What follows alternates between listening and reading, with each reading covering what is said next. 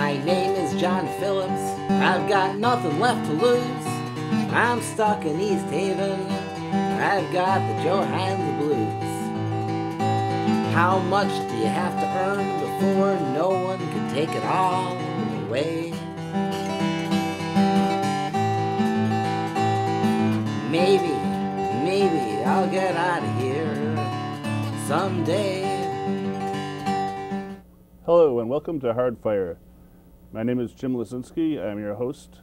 Hardfire is a program of political discussion from a libertarian perspective.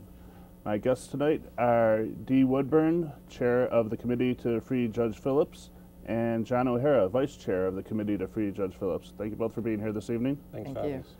Uh, uh, Dee, let me start with you. Guess uh, we should start with um, who is Judge Phillips and why do we want to free him? Well, Judge Phillips is a very unique man. Um, he is an African American man that was born in Kansas 83 years ago. Um, during his traveling of his lifetime, um, he's had various ventures um, in life. Uh, he is an attorney, he's a retired judge, he's also a martial art expert, um, and um, he's a community activist. He's also a multi-million dollar business person um, within the Bed-Stuy community. Um, Judge Phillips um, has always been, from my understanding, um, the type of gentleman that was very concerned about the community and has always been pro-community and, and a pro-person, people person. Okay. Um, and um, the fact now that he's in such a precarious situation uh, in the guardianship program that was um, deemed by Brooklyn Supreme Court. This Um, is the uh, Brooklyn District Attorney's Senior Citizens Assistance Unit. Yes, um, actually, um, D.A. Hynes is Right. the individual who asked um, his former chief of staff, Harvey Greenberg, and um, friend of 30 years, from what I understand, to petition the court to bring Judge Right. Phillips into the guardianship program. This is interesting. Now, Charles Hynes, uh, the Brooklyn District Attorney, and those of you who are past viewers of Hardfire know we've discussed Charles Hynes before, and in fact, our, our other guest, John O'Hara, was has been a, past guest on Hardfire where we've talked about uh, Charles Hynes. But Dee, um, now why did Charles Hynes pick uh, Judge Phillips out of all the senior citizens of Brooklyn to, to focus on? And was it just out of the goodness of his heart that he saw this elderly gentleman that uh, he wanted to take into custody? Well, it doesn't appear that it's out the goodness of his Okay. heart.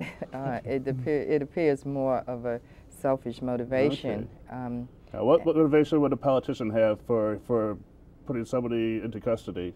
well, Judge Phillips had planned to run for the DA's Ah. office. Nah. Uh, we have a theme here. We have a recurring theme. Somebody wanted to run this. against Judge Judge Fr- um, Charles Hynes. Yeah. I see. And it Does make looking uh, losing your uh, law license um, No. that doesn't seem so No. bad in- in comparison. So, so Judge Phillips, um, when when was he going to run against Charles Hynes? I believe it was in 2001 that he would plan to run in, right. against him. I know um, and from the records um, that we have available, it, it shows that Judge Phillips was put into the guardianship program in 2000. Okay, so he announces he's going to run against Charles Hynes for district attorney, and Charles Hynes starts the wheels in motion to, to get him put into custody. Exactly. Um, from my understanding and from his associate, Mr. Hardy, Clarence Hardy, who is a, lo- uh, a longtime friend of his as well, and also a business associate, um, informed me that um, he went to um, D.A. Hynes' office with Judge Phillips um, to make a complaint against some of the characters within the community that he had entrusted management of several of his properties, um, and that he felt that there was some scam going on to try to defraud him out of some of his properties. Um, at that present time, um, apparently uh, from the records, uh, you know, upon information and belief, that D.A. Hynes stated that when he interviewed Judge Phillips, it appeared that he was suffering from dementia. And how he knew this is because his mother was supposedly have Okay. had it. So, So, so uh, Ch- Charles Hynes, with his uh, vast medical training, Yeah, made a diagnosis uh, of dementia. Dr. Hynes Yeah. him, uh, Yeah. my Yeah. opponent's got dementia. He's going to run against Right. me. yeah.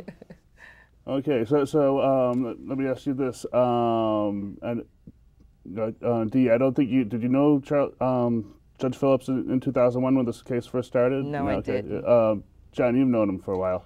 Yeah, I've, I've known Judge Phillips for about Yeah. 20 years, since the mid 1980s. Did he seem somebody who No. needed to be committed, No, incapacitated, no, and amended? what uh, what what Diaz discovered, you know, getting into Mm-hmm. this is this is not really an isolated case. This is uh, something that's going on in Brooklyn, and it, it's really horrible. What happens is uh, they've set up this unit, at the DA's office, called the Senior Citizens Assistance Unit, and if a senior goes to them and uh, has a problem, what they do is they file an application with the court ex parte, which means the person doesn't know about it.